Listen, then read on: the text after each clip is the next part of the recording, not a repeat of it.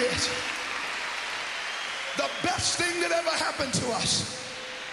If you know it, point to the choir say, Choir, tonight in Charlotte, North Carolina, we know.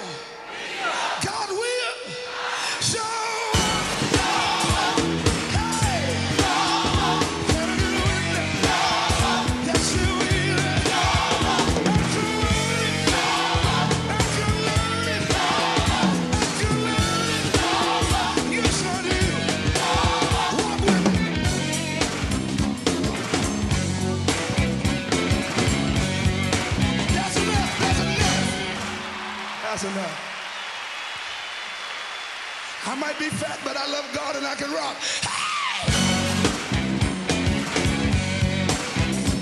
Come on, young people.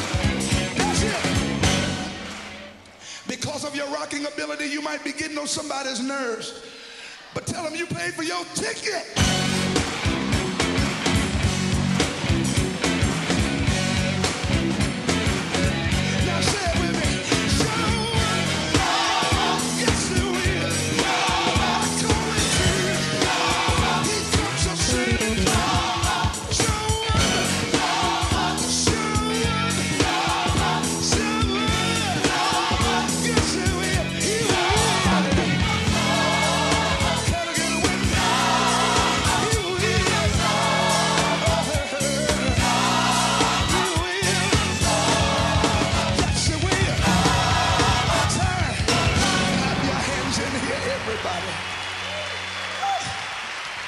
Hallelujah.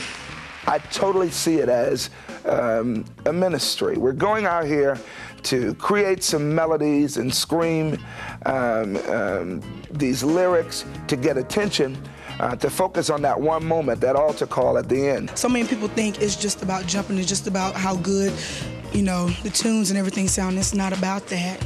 It's all about God and it's all about His deliverance and what He can do for you. If it takes Sheila, Montrell, Curtis, Jeanette, whoever it takes to uh, Danya to sing this lyric, um, I'm willing. We even go as far as to pull people out of the audience and, and include them to let them know. Again, it's it's not us. You know, this is just something we're doing now to really grasp, get your attention.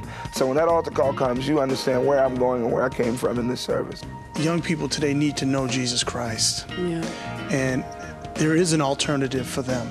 God's word is just going to cut right down. You know what I'm saying? To to to where it really counts, and um, and I think that that He's doing that with His music. Angela and Veronica, um, I love them because of their unique ability to just minister, sing vocally. And, and honestly, I'm going to be real honest here. I love the facial expression of the audience when you see, uh, quote unquote, two white figures walk out on stage and they begin to sing. And I think it really draws that line and say, what we can say, gospel is not a black thing or a white thing or a red thing. It's a Jesus thing.